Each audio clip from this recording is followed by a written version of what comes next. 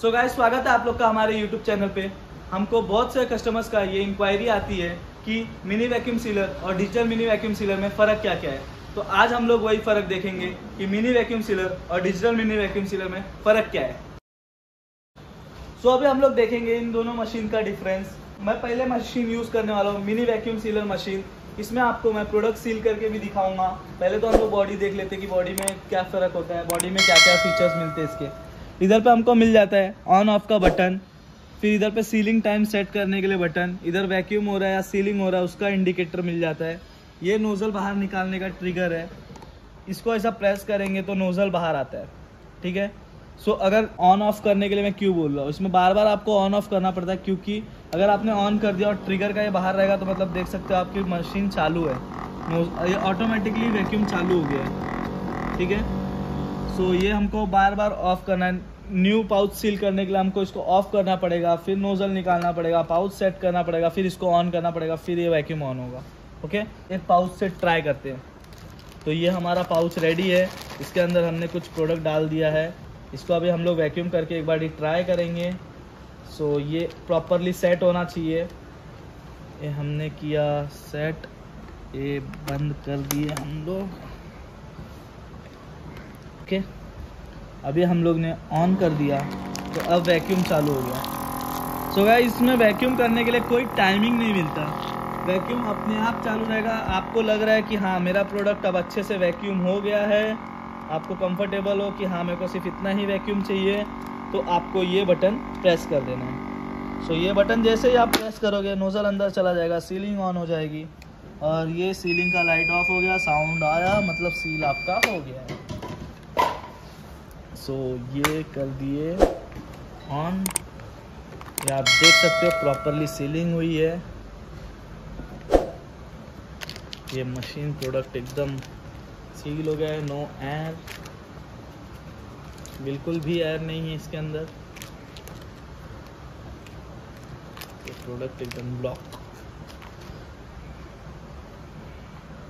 सो so, अभी हम लोग चलते हैं डिजिटल मिनी वैक्यूम सीलर पे।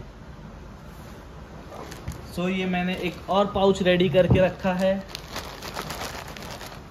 अब वहाँ पे हमको वैक्यूम टाइम सेट करने के लिए कोई भी ऑप्शन नहीं था बट इधर पे डिजिटल मिनी वैक्यूम सीलर जो कि नाम से ही डिजिटल है इसके अंदर हमको वैक्यूम टाइम भी सिलेक्ट करने के लिए एक ऑप्शन मिलता है।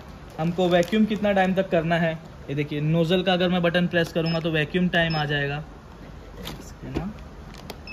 ये वैक्यूम टाइम आ गया है नोज़ल बाहर आया ये ऑन नहीं है नोज़ल ये जब स्टार्ट करूँगा तभी ऑन होएगा। तो नोज़ल बाहर रहेगा तो भी इसमें कोई दिक्कत नहीं है। इसको वन टाइम ऑन करना रहता है हमको। ये नोज़ल बाहर आ गया, ये मेरे को वैक्यूम वैक्यूम टाइम सिलेक्ट कर सकता हूँ इधर पे।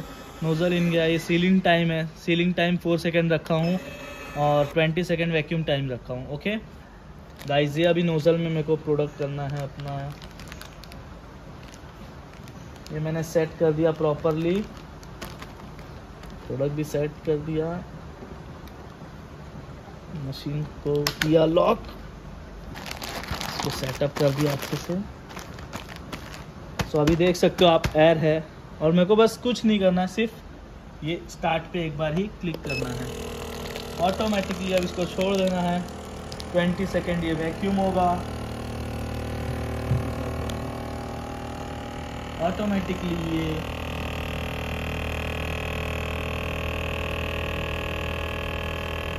है ये हो गया sealing time sealing time on हो चुका है गाइस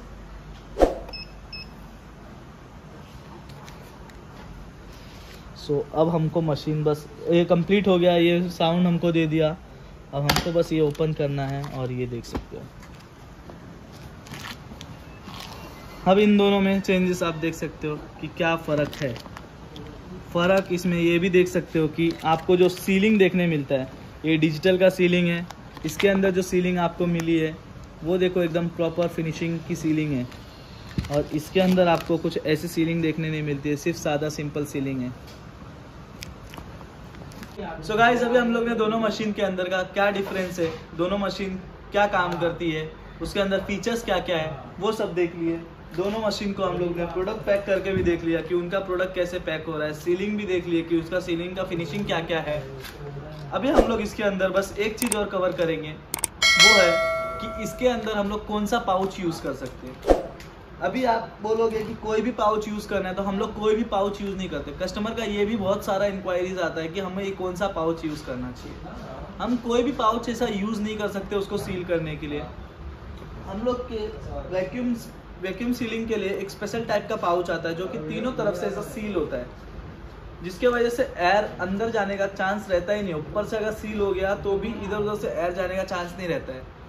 अगर आप लोग को इसका डिफरेंस भी देखना है तो अभी आप लोग का क्वेश्चन आता है कि अभी हम कैसे डिफरेंस देखें कि ये पाउच में नहीं जाता, वो पाउच में जाता है पाउच कैसा है, हमारा पाउच भी काम करेगा, नहीं करेगा। आप लोग उसके अंदर क्या करो, पानी भर के बस थोड़ी पंद्रह मिनट के लिए पकड़े रहो। अगर लीक होता है मतलब वो पाउच आपका वैक्यूम के लिए यूजेबल नहीं है। बेसिकली कौन सा हम लोग पाउच ऐसे तीनों टाइप तीनों जगह से सील किया हुआ पाउच हम लोग यूज़ करते। ठीक है?